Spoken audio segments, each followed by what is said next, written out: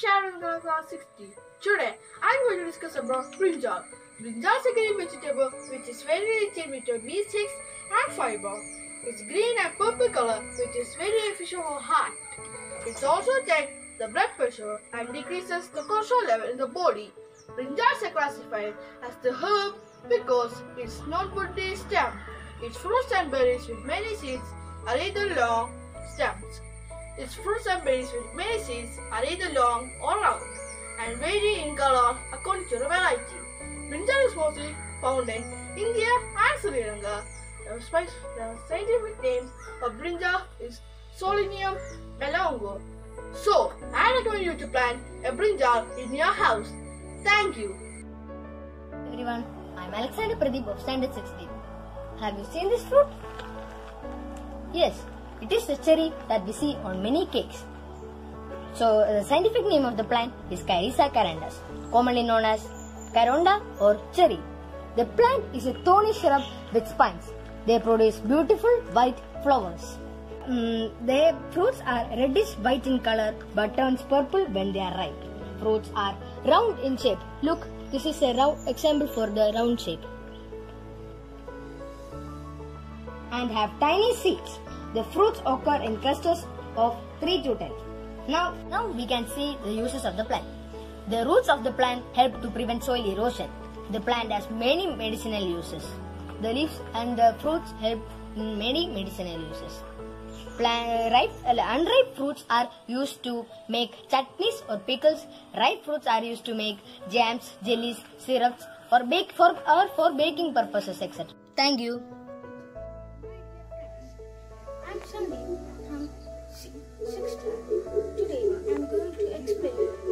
Scramberries, also known as the Indian coffee plant, is grown in, lowland mountains and rainforest.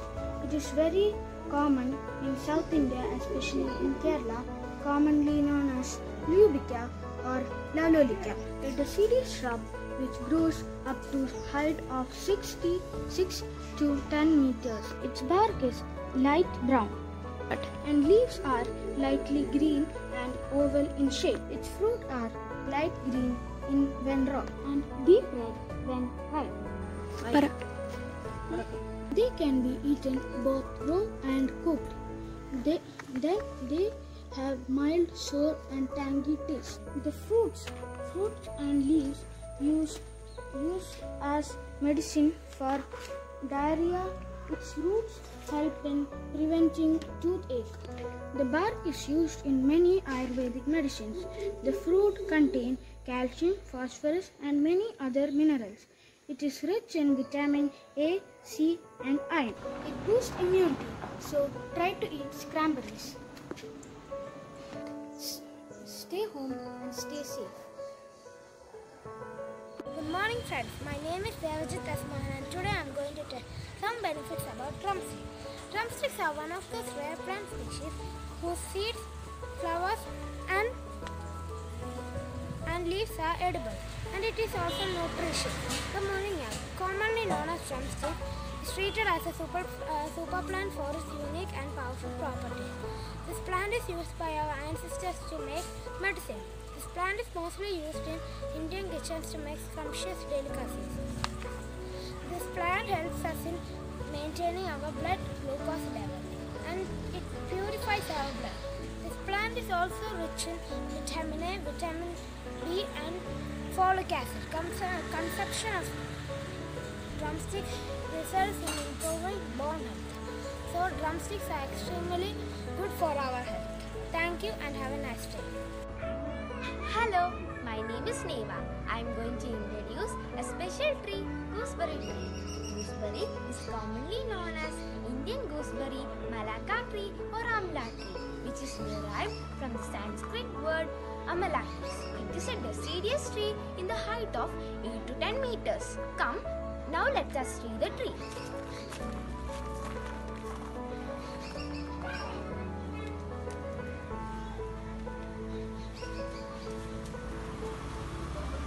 This is the tree. It is famous for its edible fruit, gooseberry, which is in Ayurvedic medicines for thousands of years. Years, people still use the fruit of the tree to make medicines. It contains vitamin C, B complex, and a little iron also. It is used to treat diarrhea, nausea, and cancer. It is it also reduces high cholesterol and body fat. It boosts our immunity. Its usable parts are its fruit, root, and its skin. So, I recommend that you must plant this wonderful and useful tree in all our homes. Thank you. Friends, I'm Rishika Jayachandran of 6D. Today, I'm going to share some facts about the Naseberry tree. Which is about 60 years old.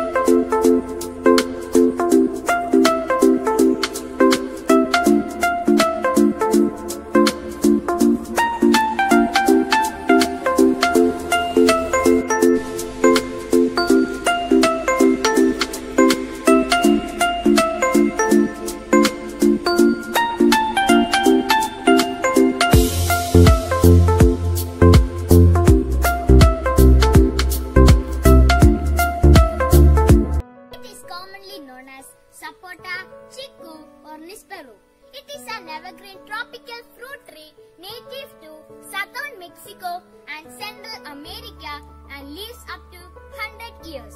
Its scientific name is Sapodilla. In Ayurvedic practice, it is used for its anti-inflammatory benefits.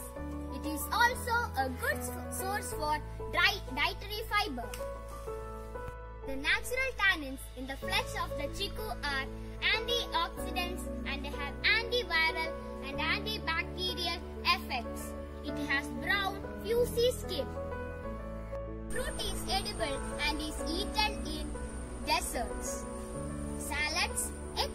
and sauces too.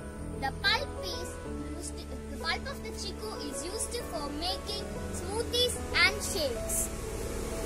Being rich in nutrients, chiku is the storehouse of new, uh, vitamin A, C and E, all of which are great for skin health and are amazing moisturizing properties. These all are about my Nasperi. Thank you for watching.